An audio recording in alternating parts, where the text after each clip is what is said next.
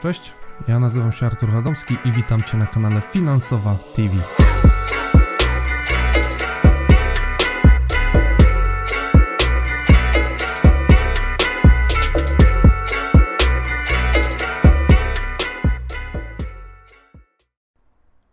Cześć, witam Cię w kolejnym odcinku na kanale Finansowa TV. Dzisiaj chciałbym podsumować to, co działo się, a w zasadzie to, co nie działo się na kanale przez ostatnie ponad dwa tygodnie. Mam nadzieję, że dobrze będzie Ci się słuchało ten materiał. Cały czas pracuję nad dźwiękiem, dostaję na jego temat dużo dobrych rad i mam nadzieję, że dzisiaj będzie już bardzo mocno optymalnie i dojdziemy do perfekcji. Zanim przejdziemy jednak do konkretów, proszę Cię zostaw komentarz, łapkę w górę, subskrypcję, jeżeli jeszcze tego nie robisz. A jeżeli już zostawiasz komentarz, to podziel się, jak podobał Ci się odcinek, jak podoba Ci się kanał i czego byś oczekiwał. Ok, można byłoby się zastanawiać, skąd taka dłuższa przerwa. Całe szczęście nie jest ona spowodowana tym, że wypaliłem się na YouTubie. Była to akcja pod tytułem Sprawdzam. Będąc konkretniejszym, chciałem zobaczyć, jak przez dwa tygodnie zachowa się kanał, jeżeli zostawię go tak sobie samemu.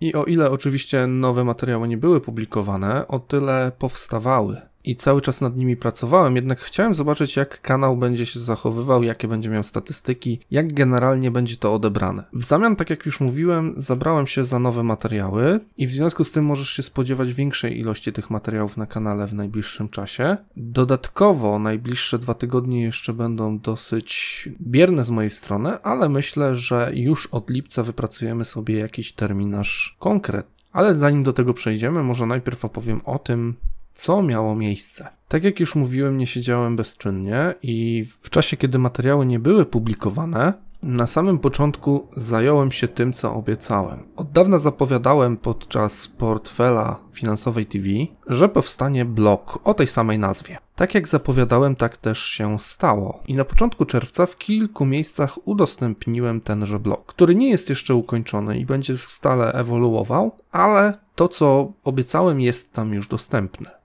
To nie znaczy, że przesiadamy się z YouTube'a na blog, a raczej w drugą stronę. To, co nie zostanie dopowiedziane na filmach, to zostanie dopisane na blogu.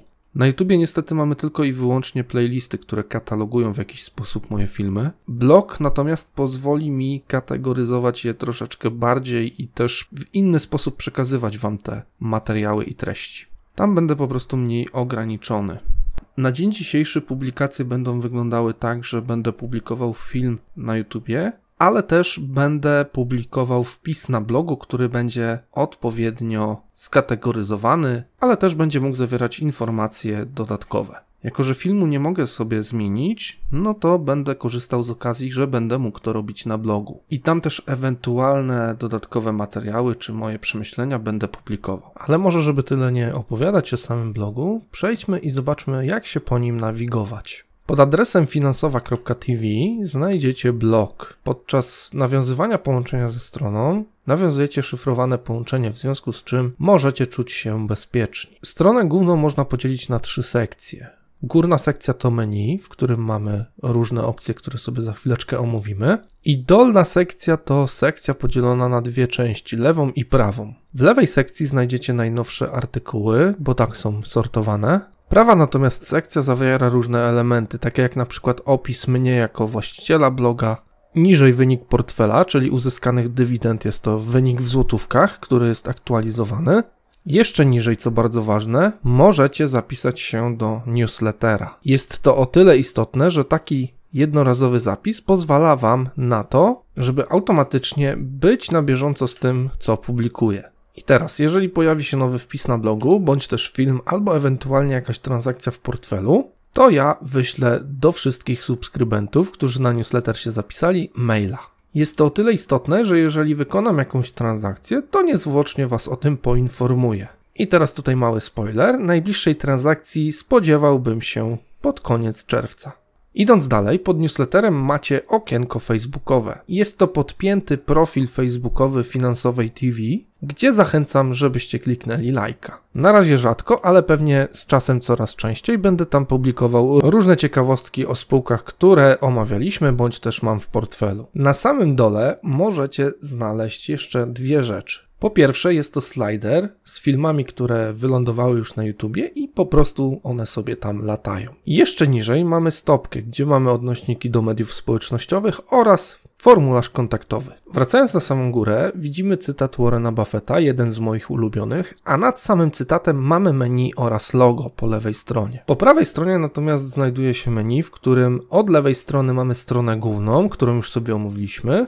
Dalej mamy portfel, do którego sobie teraz przejdźmy. Wita nas oczywiście slider z filmami odnośnie portfela, niżej opis portfela, jeszcze niżej możemy obserwować portfolio, które jest oparte o Google Sheet a pod portfolio można znaleźć tabelkę Dividend Income. Możecie tutaj pytać dlaczego w języku angielskim? Ano dlatego, że ta tabelka w przyszłości ma trafić na zagraniczne blogi. W najbliższym odcinku portfela obie tabelki sobie omówimy i możliwe, że będzie przykładowy szablon, który ja tutaj pokazuję. W formie oczywiście do pobrania. Pod wspomnianymi tabelkami jest jeszcze FAQ, czyli odpowiedzi na najczęstsze pytania, które otrzymuję. I ten fakt w przyszłości prawdopodobnie będzie rozwijany, bo pytań pojawia się dosyć dużo. Na samym końcu jest sekcja komentarzy. W tej sekcji możesz zostawić swój komentarz, jeżeli śledzisz ten portfel, bądź też możesz zadawać pytania, do czego Cię zachęcam. Wracając natomiast do menu, trzecia opcja to opcja blog. W tej sekcji podłączyłem wszelakie kategorie, które będą na blogu. Obecnie jest to tylko portfel i analizy GPW, ale w niedalekiej przyszłości ta lista na pewno się powiększy. Ostatnia opcja w menu to przekierowanie do kanału YouTube, gdyż jak wspominałem, Finansowa TV w założeniu ma to, że YouTube będzie głównym medium przekazywania informacji. Nic się nie zmieniło i na pewno długo się nie zmieni. Wstępnie udało już zebrać się feedback na temat bloga i kilka poprawek czeka w kolejce na to, żeby je wdrożyć. Jeżeli natomiast ty zauważyłeś jeszcze coś, co cię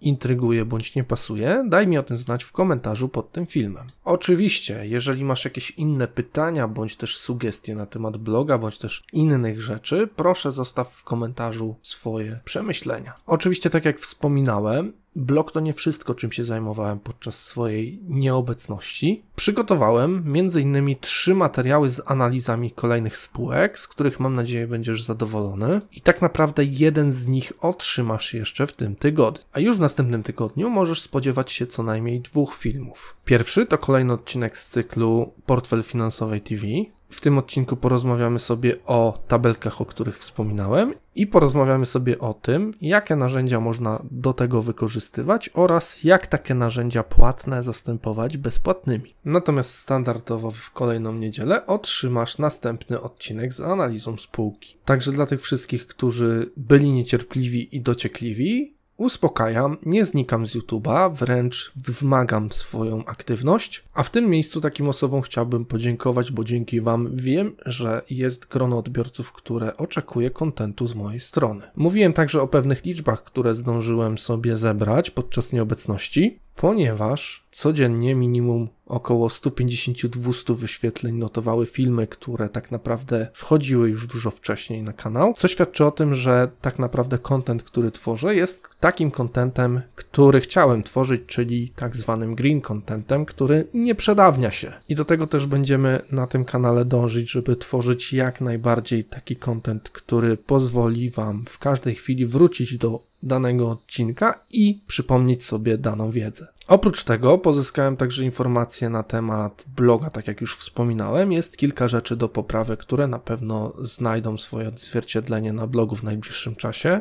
ale dzięki statystykom z Google Analytics wiem innymi tyle, że strona, jak i kanał na YouTubie jest odtwarzany głównie na telefonach komórkowych. Stąd też większą uwagę przy, będę przywiązywał do tego, żeby taką wersję rozwijać. Ostatnim takim publicznym elementem zbierania statystyk była ankieta na YouTubie. I tutaj wielkie podziękowania w Waszą stronę, ponieważ udało się zgromadzić 1000 subskrybentów kanału Finansowa TV. Można by powiedzieć niewiele, ale dla mnie to swoisty krok milowy, który pozwala między innymi odblokować kartę społeczność na YouTubie. Dzięki temu takową ankietę mogłem zorganizować i wiem też, że jest w miarę widoczna, bo odpowiedzi było no ponad 50 na dzień nagrywania tego materiału. Całość uświadczyła mnie, że idziemy w dobrą stronę, ale w tym miejscu proszę Cię, żebyś zostawił komentarz, jeżeli masz jakieś uwagi, bądź też propozycje albo zapotrzebowanie. Taka informacja pomoże mi lepiej dobierać content, który w przyszłości będę tworzył.